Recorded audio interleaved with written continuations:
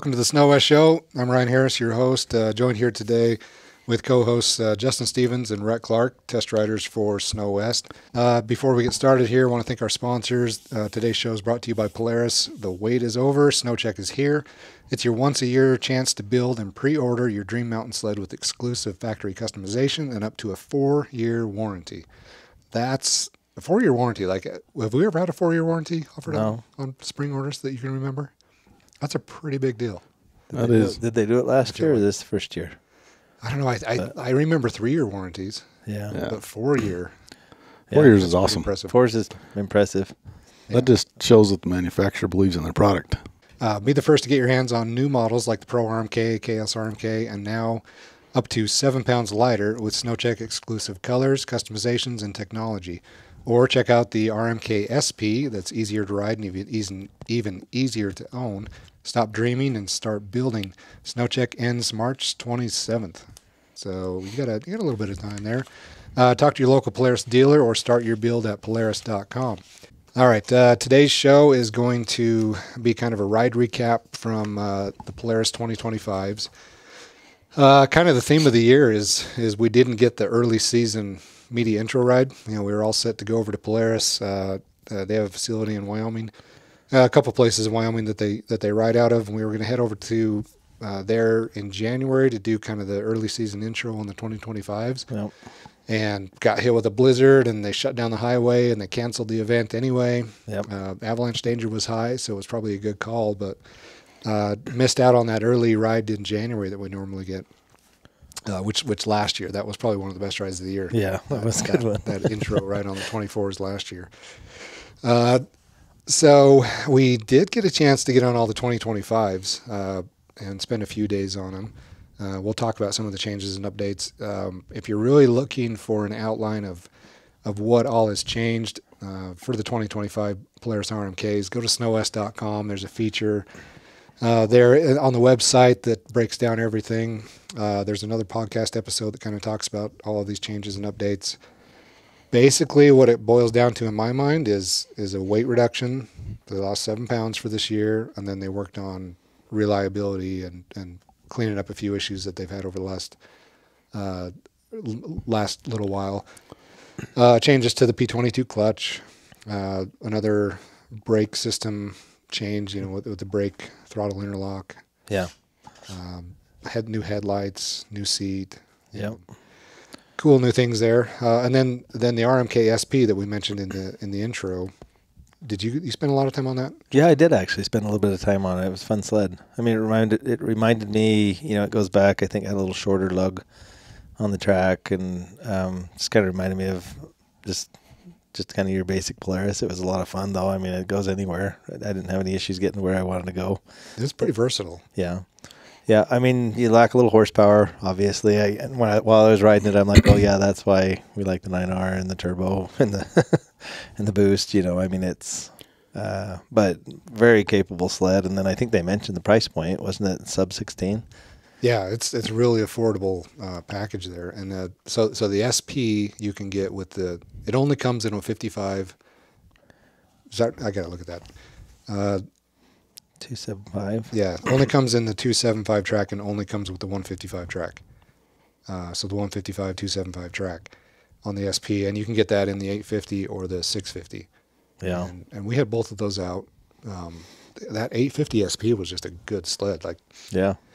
like yeah, it's not the super aggressive Brett Turcotte style, but it was easy to get on it and just kind of go anywhere. Yeah. Just kind of cruise around. Yeah, I ended up on it after we were in those deep drainages. We were playing around there. We did a couple of lines in the drainages and then kind of started finding our way out, I guess. We looked for another spot, came back around, and um, even following a couple other sleds that were digging some big trenches and stuff. I mean, you had to keep moving and stuff. Your little little shorter track and a little shorter lug, but but very capable. Just felt really grounded and easy to ride. So What do you think of the SP, Rhett? I loved it. I think it's a very capable sled.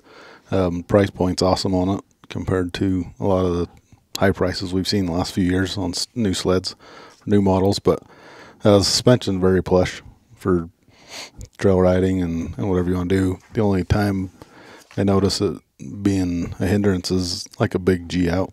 You hit hard, it'll bottom the suspension, but override overall ride quality. It, was super plush and uh, very capable motor. That 275 track's awesome. It works good. It's just a good all around sled. You can't go wrong with that SP. And the 650 has great power also. So Yeah, the the 650 doesn't get a lot of attention. Like like nobody really talks about that. No. Normally they don't even bring them to snowshoe, but they had one there this year. yeah, Um, but yeah, that, that thing runs really well, and you know, it's so it does have the quick drive too. So it's a belt drive system, uh, 275 Series 8 track.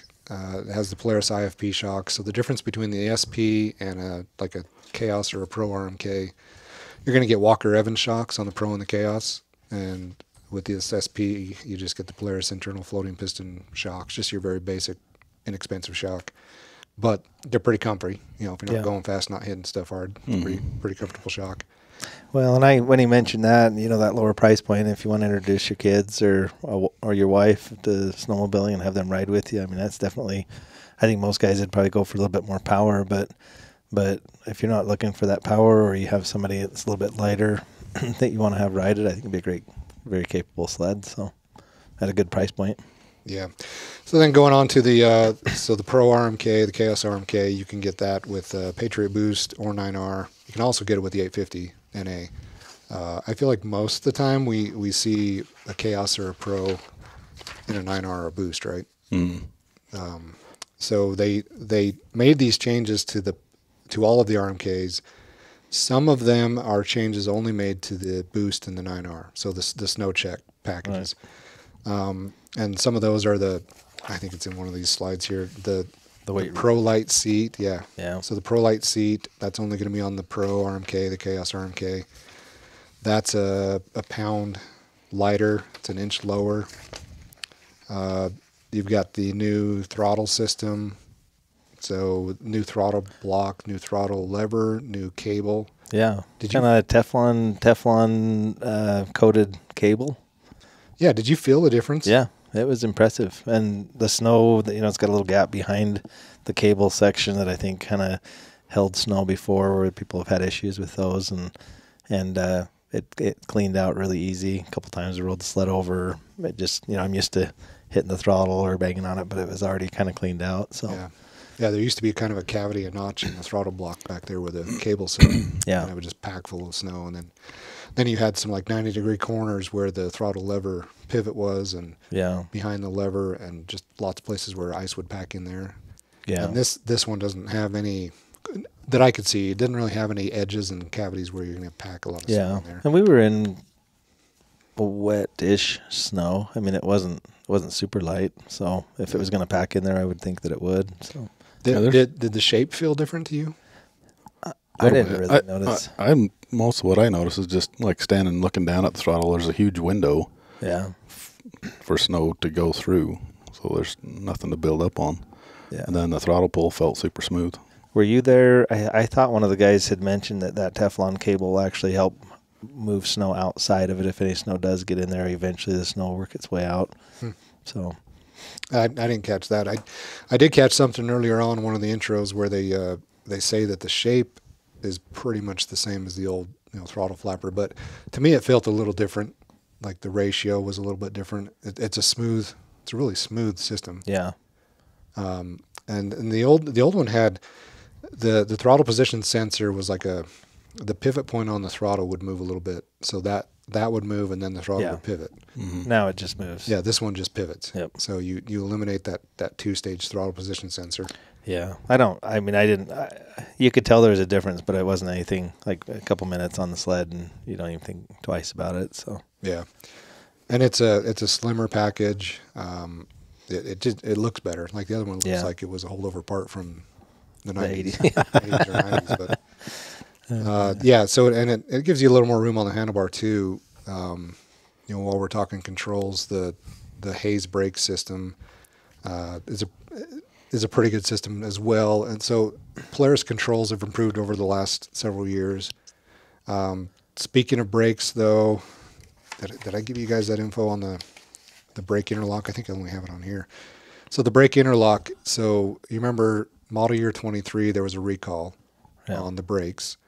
Um, and so what they what they did to solve that was put a warning light on the dashboard that said that you are you're engaging the brake and the throttle at the same time, which is it's how you ride Right. mountain riding. Yep. It's not you know it's not atypical for that, but just a little bit of finger pressure would engage the brake. So it was, and then the clearance on the on the brake caliper, the rotors are really close to the rotor, or the the pads are really close to the rotor. So a little bit of pressure on the brake would kind of make you drag the brake a little bit. So they put a warning system on there. The engine would valve down after five seconds. Um, I think I got that on here. Yeah, model year 23, 24. Brake throttle interlock. Five seconds of interlock would cause a valve down, so you'd lose power. And then 10 seconds of interlock would shut the engine off. So you would be riding along and the engine would, would lose power and then it would valve down. Um, I didn't really notice that. Like, like I noticed it on a 23 with the update, but on a 24, I haven't noticed it hardly at all. Yeah. And I, I think the change there is on 24, they increased the clearance on the brake pads versus the rotor.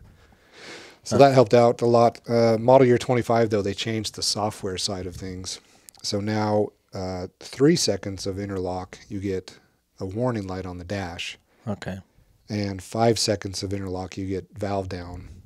But all you have to do to reset that is let go of the brake or let go of the throttle for a couple seconds, Yeah. and then it resets. You don't have to shut the engine off anymore. Yeah. Which I kind of thought that's what we had before, but it it never seemed like it always seemed like you had to restart, like shut it off. Yeah, previously you had to Restart, restart the engine yeah. to clear it.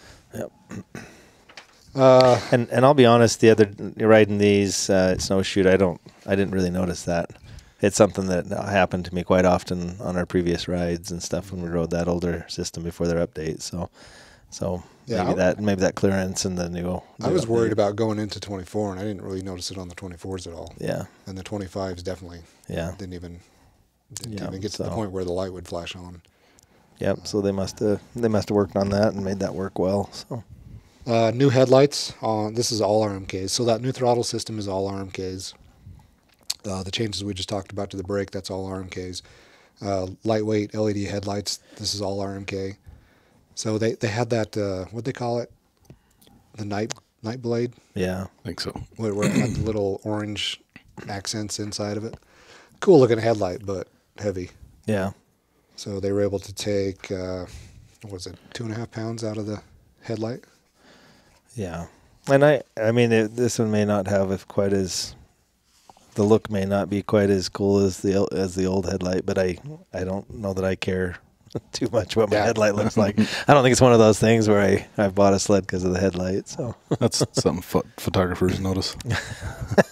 I Oh, heard yeah, yeah, it was Tristan talking about it. mentioning headlights and they're coming at you for a photo. Well, the coolest part of the old headlight is when you shut the sled off. Yeah, You look, walk around and look at it, and those orange accents would stay on for Yeah. a Yeah. while. But no, it looked cool, but I think for for the purpose of the sled, I think people would give up the that cool look and those LEDs. yeah, for sure. So, Yeah, so two two and a half pound weight reduction on the headlight. That's that's pretty significant. yeah, you know, I'll take that any day of the week. Uh, you know, Polaris has this philosophy. I think I've got it written down here. Nels, uh, Nels at Polaris, who's involved with the engineering team and marketing, uh, says that they have an internal saying: "Everything gets better when it's lighter." You know, makes total sense. Yeah. and I, and I just wish everybody else would get on board with that as well. You know, Yeah. we, we always have the argument of like, okay, well, would you would you give up durability for less weight? Would you give up horsepower to have less weight? And my response is just, I don't know. Just give me less weight. yeah. Like, like why do I have to give up something? Just give me less weight. Well, yeah, that's the best of all worlds, right? I mean, I obviously, yeah, I'd rather it last than I. I, I don't want them to push it so far that the sled breaks down all the time and you can't ride. But I think I think you're right. I mean, we're all like, no, I want it lighter and durable. So make that happen. I think they have the same saying at my gym I go to. Everything's lighter, it's better. Oh yeah, for sure. Uh, more weight reduction. So you got a lightweight steel drive shaft. Um, the dual Yeah. extrovert drivers, those came out last year. yeah, Um, but now they're, now it's on a, a lightweight drive shaft, so you get a little bit of uh, reduction on rotating mass in the drivetrain. So that's a pound. Um, and then the uh, running boards. yeah. Did you Take a look at those. Yeah, I was wondering if you had. I, I was I was sitting there. We were standing with uh, Andy Mills and and Cal, and And then we just had a minute where you guys were off jumping sleds, I think, and we were looking at some of the differences. And and uh, I said, well, what what is the difference in the in the rails? Because like to look at them, I don't know that you could really tell. I mean, it looked like maybe the spacing was a little different and and things. But then he started to show us where they actually did almost like a little angle or 45 down from the edge of the tunnel, um, which I hadn't really noticed all day riding because I usually get a little snow build up right there along the edges, and I feel like my feet kind of get pushed out, and uh, hadn't noticed that at all. But I thought that was pretty, pretty, um, pretty smart of them to to recognize that that flat edge probably had a lot to do with that buildup. So So they got rid of the got rid of as many 90 degree inside corners as they could, right? Yeah. Up against the tunnel, yeah, which makes sense to clear out snow. So and then open up the spacing on the footbed. yeah, So those are the crossbars are narrower and the, the holes are, are are bigger, so it's easier to, for stuff to draw through. yeah, Did you notice a difference in traction, foot traction? not really. I mean, I, I didn't I, I didn't feel like it was less. So Yeah, I couldn't tell a difference either. Yeah. I think felt pretty good. Polaris, the running board traction's always been great. yeah, I think it's just right on par with what it was before. Just more places for snow to fall through. yeah. I've kind of always felt like I think Polaris has done a great job with their running boards. I mean, it's kind of a, a dumb thing to to praise, but at the same time, it's where you spend all your time. So as far as just my, the way my feet sit on the running boards and comf- how comfortable they are and how well you stay on them, I, it's never something I worry about unless I'm doing something stupid. Yeah, I remember back. I remember when the 2013 Pro came out. So you had, you had the Pro RMK released in 2011, and then the 2013 came out with a whole bunch of changes. Yeah. And they were talking about rig, you know, rigidity and rigid chassis and everything. And th- they were talking about how that running board being extruded aluminum and just not flexing. Because at the time, back in 2013, if you bounced on anybody else's running board, you could bounce flex. that sucker down an inch or two Yeah. and theirs wouldn't. So every time you put input into the running board, it was translating into force rotating the sled, Right. Yeah. and I that really caught on. You know, and now now you see extruded aluminum running board edges on on the Ski-Doos. Um, Arctic Cat's got pretty aggressive running board Yeah. as well, but uh, so a little bit of weight reduction there, and then the the lightweight serviceable suspension pads in the in the rear suspension. So that that is the that's the big bracket mounts inside the tunnel that has the hangers for the rear suspension mount. So those are lighter.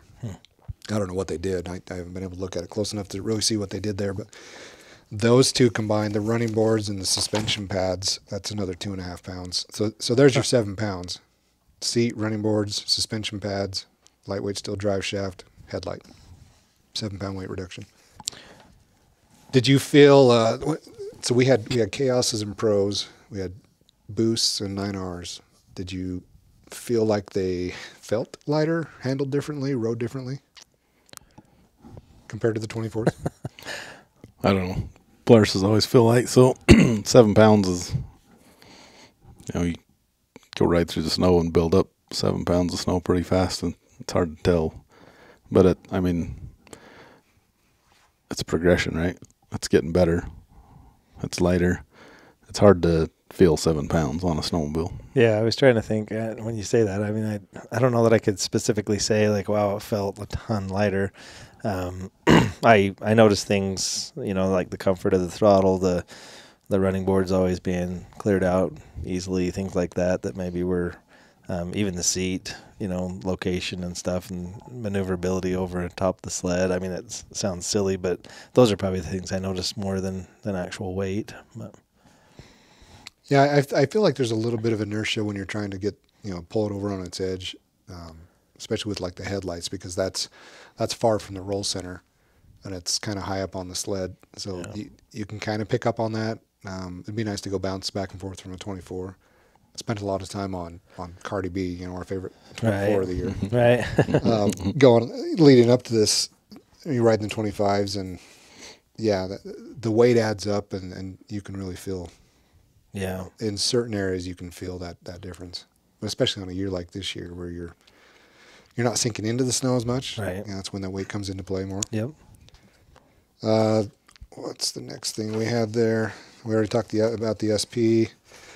Uh, so some of the some of the durability improvements that they made going into 25.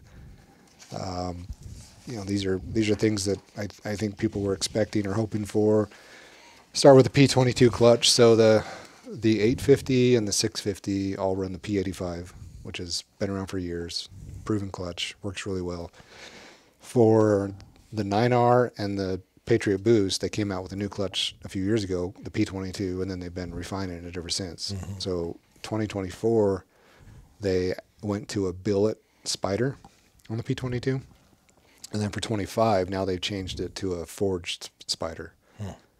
And if I remember right, what, what Nels was talking about, the difference there is uh, that forging is just mu- is a better process for manufacturing those types of parts.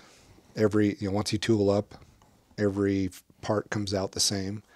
Where billet, you're you're cutting a part out of raw material, and it all depends on the raw material. You're not creating the raw material; you're just machining it. So you have a little more control over the the Yeah, so material quality. Yeah, so the forging is a better process. It creates a stronger uh, part more consistently, like every part is the same. Uh, and then they changed the cover, the outer cover on that. And what what they did on that, you guys were were you guys still in here when when they did the media presentation talking about the clutch? Or I think that was kind of the tail end. Yeah, I think Yeah, I I might have missed that left. part. So So the back side of the clutch cover on the P22, where the primary spring sits, there's a little recess cut in there for the to hold the primary spring. Yeah. So they've made that area bigger. The relief is a little bit bigger, so that that spring has a little bit of room to move as, it's compressed. It can slide, and that reduces uh, spring breakage. So it cuts down on the likelihood of a of a primary spring, spring. failure. Uh, and then they changed on the P22. They went to a new clutch bolt. Uh, the new clutch bolt has a new heat treating process and a new thread manufacturing process. So the way they're treating the metal and then cutting the threads is different, and that combination makes that bolt stronger. Um, had anything else on there? Yeah. So there, there's the P22 changes, um, but but you're not really feeling that, are you? I mean, you, it's not something you're going to feel. no, I don't. I didn't feel any difference in That that. forged spider, I feel like, might be a little bit heavier. I'm guessing that's heavier than the billet spider. Yeah, Probably. So if you're really splitting hairs, you might be able to feel something in there, but I, I didn't. I mean, yeah. 9R seemed pretty responsive. No, I think that's just going to be something you see. Just having the sleds last longer and less less clutch failures. So Yeah. So uh, it, it didn't seem like, you know, the, the Boost has a couple minor updates. Uh, the, the fuel injector aux harness, so the auxiliary fuel injector, uh, injector, they changed the the wiring and the material, uh, improved that. They improved the sealing on the turbo seal, the process that to to seal that turbo, so a little more efficient process there. Uh, new engine mount on the PTO side. It's a, it's a two bolt rear mount now. Um, new starter and Bendix. So the, I, I had to Google what a Bendix is. Do you guys know what a Bendix is? uh-uh, I'll be honest there. I don't. I had to figure out what the heck that is. It's the little, uh, it's the pinion gear that, that when you pull the rope, it's the pinion gear that pops out and engages the Oh. flywheel. And then, so it's spring loaded, and when you pull the rope, it makes that thing pop out, grabs the flywheel, turns the flywheel, and then and pulls pops back, back in. in. So apparently, there's a new Bendix. for, for what that's worth. Yeah, the Bendix. Yeah, so I'm going to tell everybody. My sled has the new Bendix. Yeah. uh, new rear, new bumper on the RMK, uh, a little bit stronger, more durable. Oil bottle, they they changed the mesh inside of there so it reduces the, the likelihood of air bubbles to build Yeah. up and then trap an air bubble in the in the oil line. Uh, get rid of that. Uh, rail caps. Yeah, it was kind of a big one, I think, because they had some issues with stabbing, right? And then replacing, I guess to replace they made it a little bit easier to replace now. You don't have to take that whole assembly apart. You can just change out the the Yeah, 'cause it- anti-stab. Because wasn't it 23? There, it, it's all one unit. So if you had to fix one or the other, you had to take it all apart. Yeah, and if it broke, it all broke. So I think is kind of what they said too. Yeah, So, because you remember when we walked into 24, the media ride in, in uh, uh, Wyoming mhm. in January of 23. Yep. You walk in there and and the slide rail. It was it's the new slide rail, and it just had the Hyfax that went up, and then it had the anti-stab but no cap, and it was like that that that doesn't look right. Yeah. It just didn't look right, but it worked. But I think there were a few issues out there with it, with the track clips coming around and catching the tip of the Hyfax. Yeah. And part of that problem was, from what I heard, from what I understand, um, the screw holding the Hyfax to the rail, that torque wasn't set right. Oh. So the Hyfax wasn't pulled up close enough on some sleds so that clip could catch that edge. And anyway, going back to 25, adding a, a rail cap, Yeah. and it's separate from the anti-stab kit, so you can replace either one. Yeah. Yeah. It just made it sound like it was maybe a little more durable and a little bit more serviceable. So Yeah, and that's not something you're going to feel like you didn't feel any difference there, did you? no. Nope. Uh, recoil rope guide that's new. Uh, reduces wear on the on the rope. Uh, 7S display. Do you guys play with the 7S very much? I did this year more than years past, but it it was more so.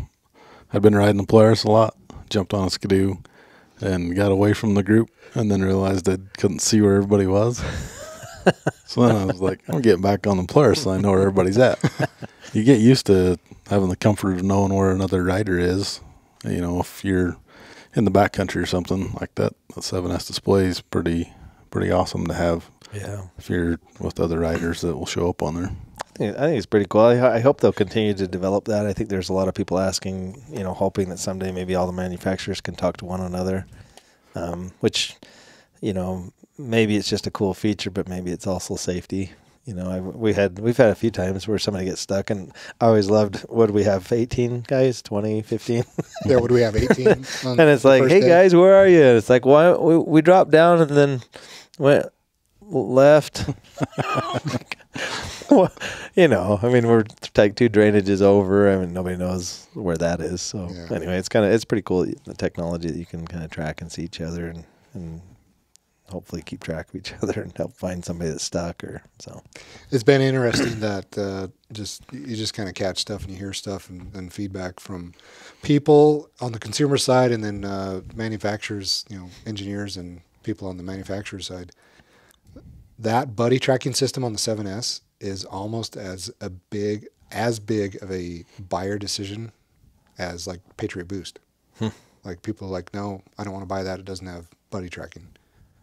You know that that's a big selling point, and I've I've never really looked at it that way because we typically do all of our testing in the same area and Yeah. kind of know the the spot, so it's pretty easy to say, yeah, we're we're by the we're by the brown tree. Right. Yeah. And, or four or five guys, or, you know, I mean, it's a smaller group. It's usually a little easier to stick together and stick closer, but, but yeah.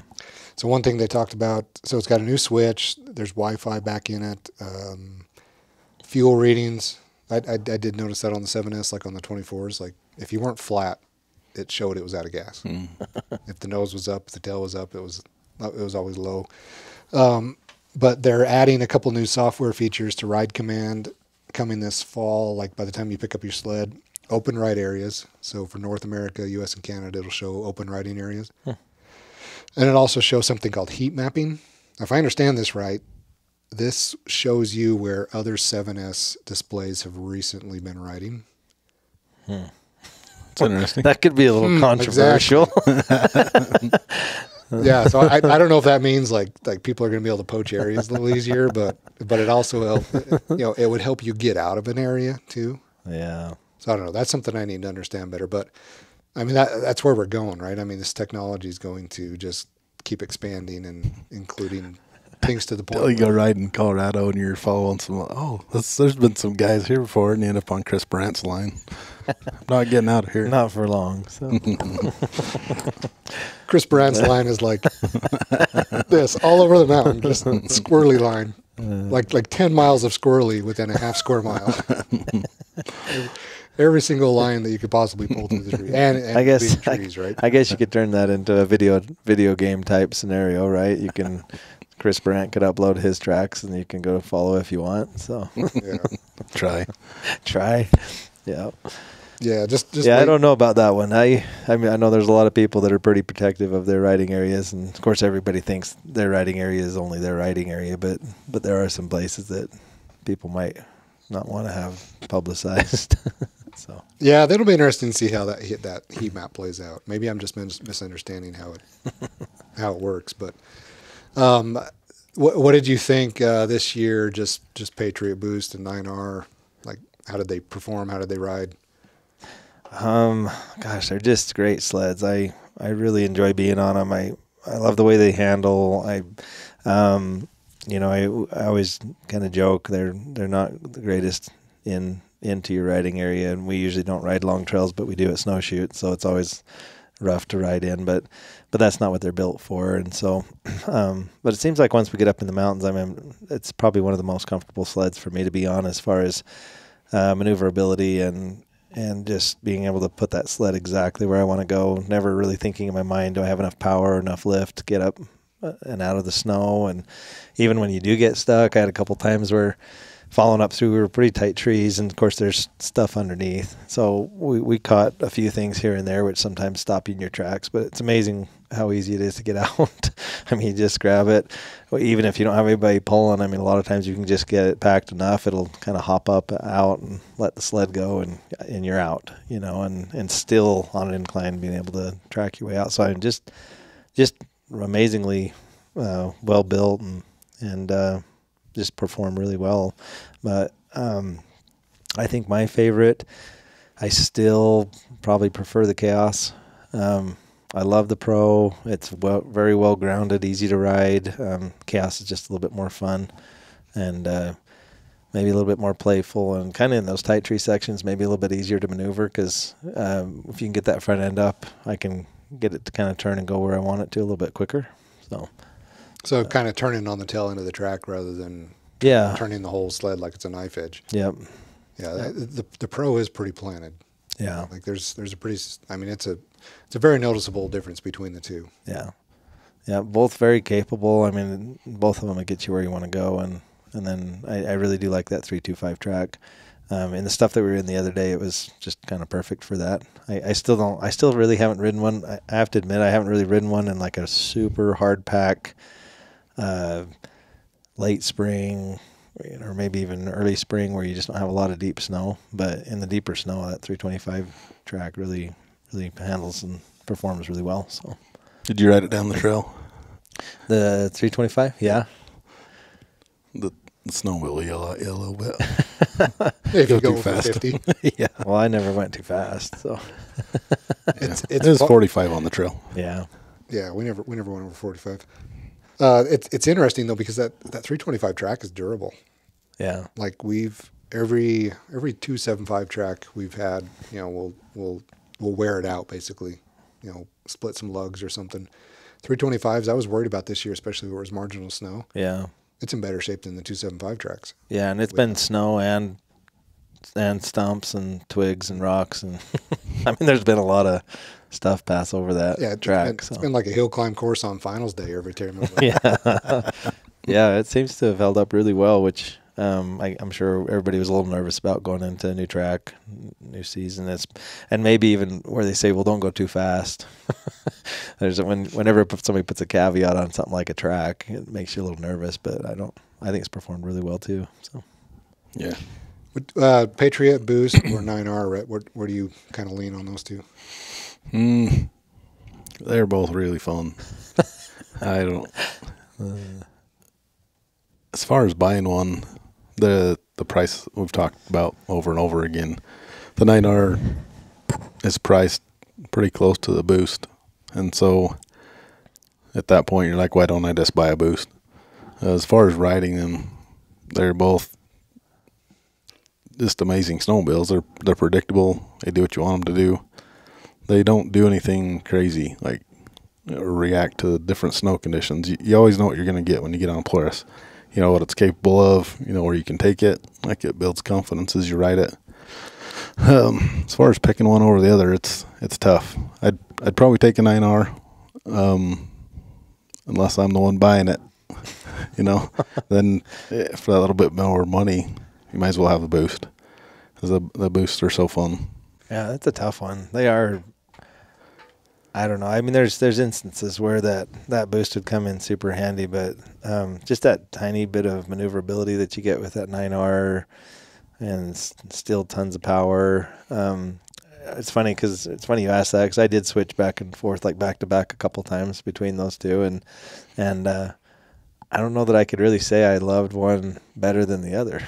In fact, I'd get on one, I'm like, okay, I'm on the 9R, and then maybe it did something I didn't like, and then I got back on the turbo, and maybe it did something I thought was going to happen, but didn't, you know. And so I, they both are really good in the in the trees. And one thing that we did have a lot of was a lot of either hard track underneath the snow or stumps or little things. And I, I did feel like, you know, between the Polaris and other manufacturers, that's one place that it does definitely shine. Um, whenever I'm either cutting a side hill or heading up through something, I don't feel like the sled wants to pitch me off of it. Even when you cut across an old an old track or following somebody up through the trees, seems like I'm always Ryan's always first, and so I'm always second or third. So I you're don't know what dealing- you're talking about cutting across the old tracks. so you're deal- yeah, I know you've never been there. So, um, but yeah, when you're cutting across somebody's track or weaving in and out of trees, I just don't feel like I feel like it's you hit those. I'm not I'm not wondering what's going to happen. I'm not wondering if it's going to pitch me sideways or toss me. Um, but Yeah, like I said, you, you know what you're going to get with Polaris. That they handle the same and and breed confidence into your riding ability. The more you ride them, the more comfortable you get on them. They don't react weird or do anything quirky while you're riding it. so would you say it has effortless control, And lift. instant lift? Instantly. so I, I just I'm on snow I'm on Polaris's website and I just snow checked too. So same track length. These are 155 325s. They're both Khaoses. Same color, everything. They both have 7S display. Uh, the Patriot Boost is 23,155 and the 9R is 22,654. So Five hundred dollars difference. five hundred dollar difference. Could be Because I would gravitate towards the 9R. Like I would probably rather be on that all year. Like, Yeah, but man, the for your Boost. everyday sled. boost for 500 bucks yeah sure sign me up Yeah, Yeah, look, go back ten years and, and look at any sled you could buy then, and think, oh, I gotta, I'm gonna add a turbo to it for five hundred bucks, and have a warranty on it. yeah, Which one are you gonna take? yeah I, I i guess they look at so if you take the price of the 850 and then you say okay you're going to spend this much money to do a 900 kit you're going to spend this much money to do a boost like you're going to be about the same money into it right. so two mod sleds two ways to build a mod sled if you start with an 850 but Well, and and maybe I mean I don't know if it's fair to look at it that way. We keep we keep trying to compare the two, like well, 9R's right there with that, but maybe maybe that we're not maybe they're not two different sleds completely. Like here's a price point, and then here's your next step up. Like you're saying, they're they're two different ways to mod a sled. And if you like the boost turbo power, then then that's your sled. If you want just a naturally aspirated, you know, big bore, then the 9R is your sled. So I don't know that it'd be that much different. You know, when back when people modded sleds, it's the same thing. Some people took them to Carl's and had them do a big bore, and then some people put a turbo on them. So it's just different power. some people do both When Yeah. you, yeah, when you put it that way, Ryan, um, looking at two different ways to mod a sled, doing a big bore, doing a turbo, um, and the price point, you get a lot more performance out of that boost. So Yeah, I, I mean, I, I could argue that. Like, you get a lot more horsepower, um, and you get a lot more elevation performance. Like, Yeah, like, like true. Brandt, Brandt is a boost guy because he rides at Yeah, 12. 10, 11 feet, Yep. 10, 11, 12,000 feet. Yeah. Um, we're, we're more at like 75 to 95, 95 max, like Yeah. on a really big adventure. But um, the, the nine, I, I ride those two differently. Like the boost, you can get off of a boost, get onto a 9R and do things a little bit differently. Mm-hmm.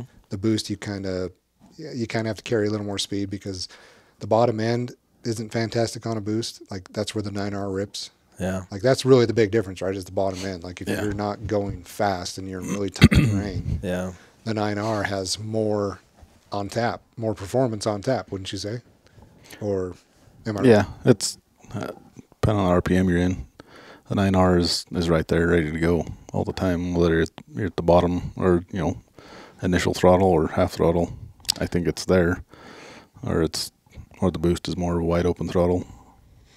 Yeah, I, I, I feel like that. I feel like I, I, maybe it comes down to type of riding, you know, and, and I guess you, you got to look at how you ride. I mean, if you're, if it's all day tight trees, drainages, like playing around, jumping off rocks, different things like that, and you just want that low end torque that 9R has and super lightweight.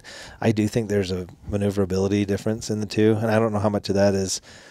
Um, I mean, there's maneuverability and throttle response. I, I mean, those two kind of go hand in hand in my mind. You know, depending on how fast you can get into the throttle, it changes how quickly the sled can come over and how quickly you can react. So, so I do notice with the with the boost, it doesn't engage quite as hard on the bottom end. Um, so I have to think a little bit earlier about my decisions and stuff, and maybe the Polaris, the 9R is a little more forgiving in those types of situations. But um, not everybody likes to play just in the trees all day and bounce around back and forth and do side hills and tight trees. So if that's not your thing and you're looking for some climbing and and maybe high speed, you know, um, maybe bigger open areas, uh, really worried about just deep, deep, deep days. I I don't know. That's I guess uh, I don't think you'd be unhappy on either one, but maybe they are geared maybe a little bit.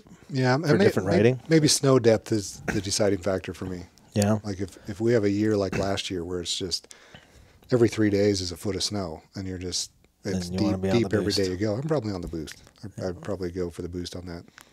But the the nine R for me, the the nine R is the sled that I I, I mean all the years that I've been in this industry on the media side pushing for better mountain sleds, the nine R is the pinnacle of that. Right. It, it, it's a pretty awesome machine. yeah, I don't. I, I don't think. I mean, the sleds are all capable sleds, both inside the manufacturers, like we're talking with the 9R, the Boost, um, or moving to a different manufacturer, the Ski-Doo, or or any of the others. I mean, it's not. I, like you said, we're we're totally splitting hairs. I mean, you know, do you like the turbo sound of the Ski-Doo, or do you like the turbo sound of the Boost? You know, they they both have a little different whistle, a little bit of ramp up, and you know, it's it's That's we're pretty fortunate to be able to ride so many different models and different sled brands as test riders. It's it's easy to start splitting hairs like you're talking, and then you know you get people look at us like you guys don't know what you're talking about. You you, you talk about one sled, and another sled, and another sled. Well, we get to ride all those sleds, yeah. and it's easier to compare them with as much time as we spend on them. You know, eh, most most people don't get to jump from one sled to another sled to another sled Yeah. and spend a lot of time on them and I- compare them. I just can't tell if I'm getting better on each sled or mediocre on all of them. So which which 25 Polaris would you would you configure? Start with you, Rhett. Um, man, that's tough. I mean, put put your money down. Like, let's go drop a deposit. yeah, you got to pay for it. That's rough. That that's like walking into the gas station and picking between a Coke and a Mountain Dew that day. It's same price. Uh, the the price is so.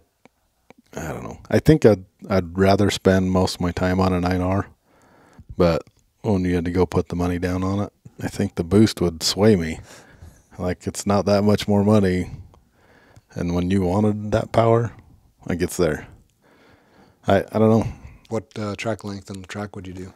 I'd probably go to 155 on the plus. I'd do a 3 325. I really like that track, um, especially like we rode it last year. I'm just unreal traction out of that thing. So I I'd probably end up going with the Khaos Boost 155 and a 325 track. Cardi B. Let's, Yeah. let's go. What are you doing, Justin? Uh, it really is a tough one. I I would want the boost so bad, but just based on how I typically ride, I, I do think for my everyday riding and throughout the season, I think I would go with a with a 9R Khaos uh, 155 Series 9 325 track. So I, I, like to think I'd go buy the boost. I just and, and I do love it.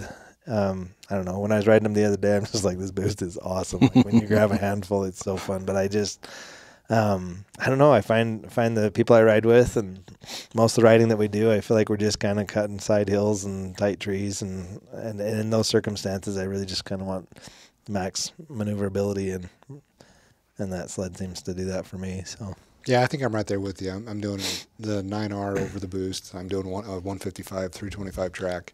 I love that 325 track. It's more durable than the 275 from what we've what Yeah. we've seen.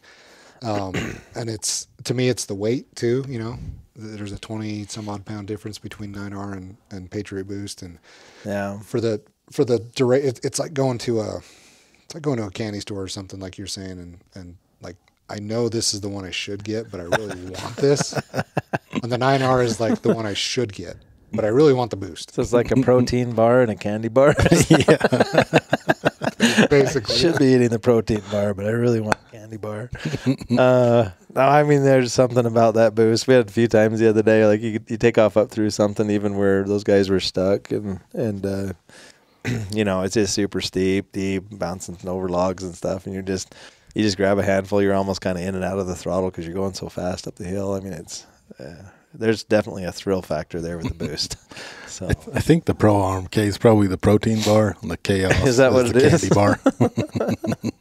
uh, yeah, we haven't. T- yeah, we and we touched on that the Pro RMK versus versus Khaos, but I, yeah, I'm doing Khaos all day long. Yeah, I I I love the pro. I mean, there's something about when you do jump on the pro. I I feel like, um, I don't know if this is the right way to say it because it's still a way fun sled. But to jump from the Khaos onto the pro, I feel like the fun factor goes down just a little bit. I feel like I've lost just a little bit of that. I I agree. I'm still I can still like go anywhere I want to. I can still turn it straight across the side hill. It's very grounded. Um, but I don't know. There's something about all of a sudden the front end's not coming up, and and I've had a few times when I'm like grabbing a handful, thinking, okay, the front end's going to come up now, and it Mhm. kind of doesn't. But super, very capable sled. So I, so I just snow checked uh, a Khaos 850. Everything the exact same as the other two sleds that we did.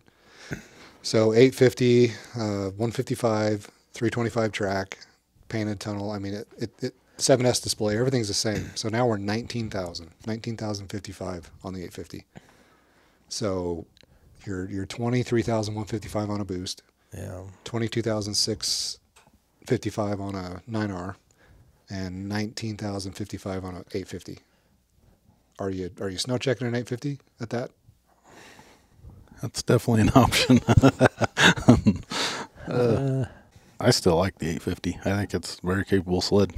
Like I don't think it's that far behind a 9R. Like, you know, a couple of grand. Like you buy an 850 and that's still competitive.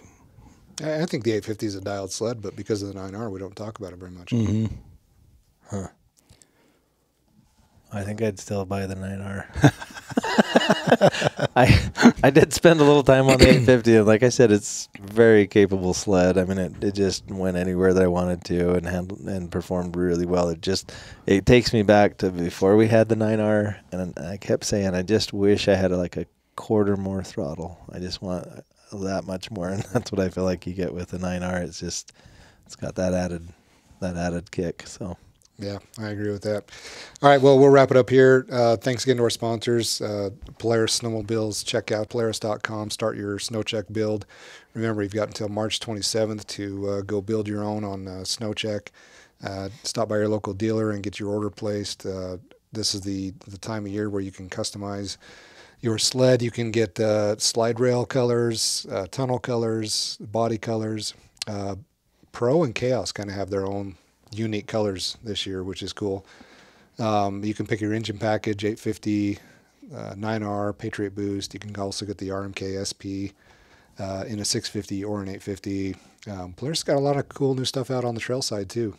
Yeah. Dynamix suspension on the VR1 and the Indy Indy X. Uh, let's see, Indy XDR now has the 9R package. So I guess uh, I guess all the trail riders were really wanting that 9R, Hmm. Which is pretty cool. Pretty cool Yeah. to see this stuff continue to uh, uh, grow and develop. Um, thanks to our sponsor, also 320 Guest Ranch. Check it out at 320ranch.com, uh, located uh, just south of Bozeman, Montana. Um, yeah, and go to snowest.com. Uh, subscribe to the magazine. Check out our merchandise. If you're on YouTube, hit that subscribe button and uh, stay tuned for more.